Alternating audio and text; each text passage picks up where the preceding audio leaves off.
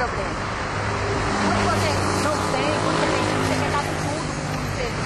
Eles não dão valor, não. Você vai na loja e compra as melhores coisas.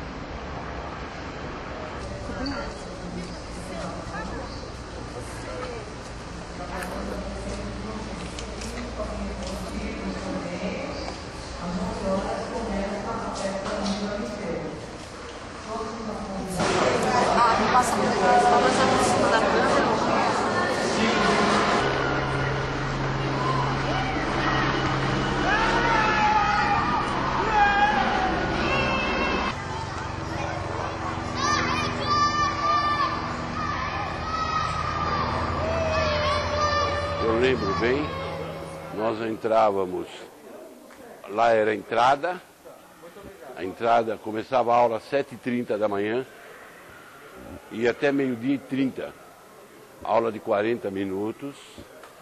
Ficava alguém aqui na porta examinando se você não trazia alguma coisa estranha. Nós nos reunimos aqui nesse pátio e havia as orações da manhã. Auxiliadora, Virgem formosa, dos pequeninos, Mãe dadivosa, que mil tormentas entre o dolor, que os filhos salvam, auxílio de amor.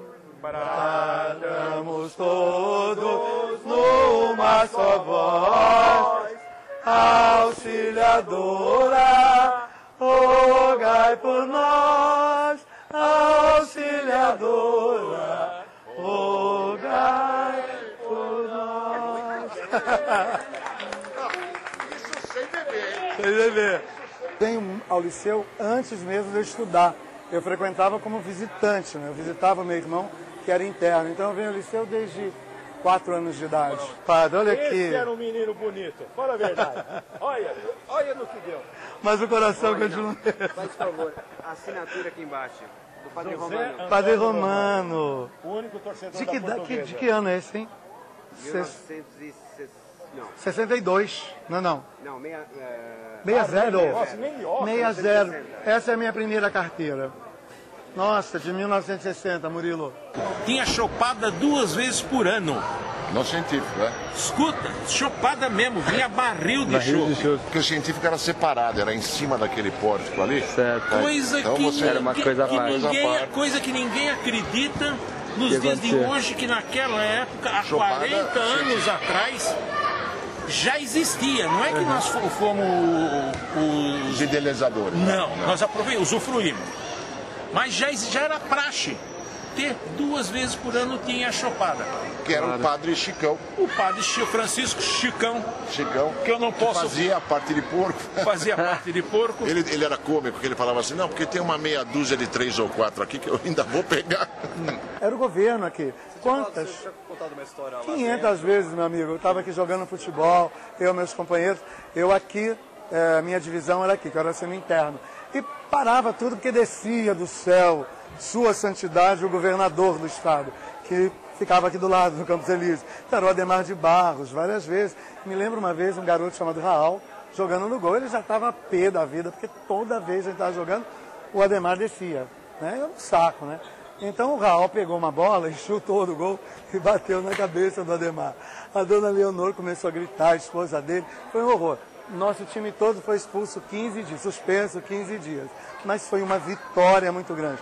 Desde esse dia foi diminuindo, a- foram diminuindo as vezes que os helicópteros pousavam na hora do nosso futebol. Pelo amor de Deus, que pousasse durante as aulas. Né? O Meu pai me trazia às vezes, mas no final eu vinha de ônibus e morava nas Perdizes. Então eu descia na São João e vinha a pé, todo esse percurso. Da Glete, a Notman, de lá até aqui.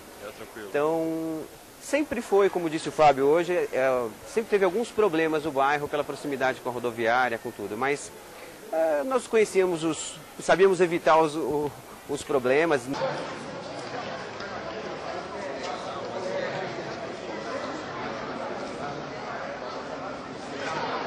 É uma escola que funciona a- desde que o colégio foi fundado, eh, tem essa missão educativa e é, sempre foi é, se evoluindo de acordo com as necessidades da cidade, oferecendo o serviço de educação é, aqui nesse mesmo lugar.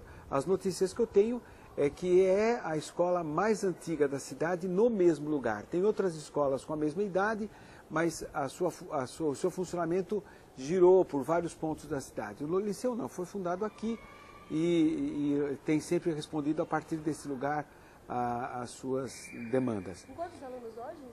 Hoje nós estamos com 270 alunos. Mas já, mas já chegou a ter... Ah, mais de 3 mil. Essa simbiose entre o liceu e a cidade de São Paulo, o centro da cidade de São Paulo, isso foi sempre muito natural, né?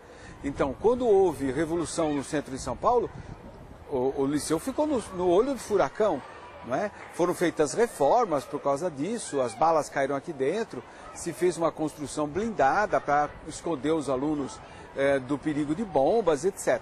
Então, é, isso assim é uma atitude quer física, quer dizer, naturalmente o colégio passa por isso, né, com reformas, e também é, cultural, social, né? Então ele sempre procura. Então, à medida que vieram os catadores de papel aqui do centro, se fez, um, se deu uma resposta a isso com um abrigo, não é? À medida que aumentou muito os cortiços, se criou um apoio às famílias com cesta básica, etc. Cresceram aqui em torno pessoas que precisavam se qualificar para garantir nos empregos, abrimos o curso de alfabetização e de educação para jovens. Então, isso foi continuamente. Fomos tomados de assalto com a, a questão do, do crack, porque ela é de uma difícil intervenção, não é? Para você é, colaborar com isso, você está falando de saúde pública, você está falando é, de uma situação, situação do Ministério Público, de polícia, né?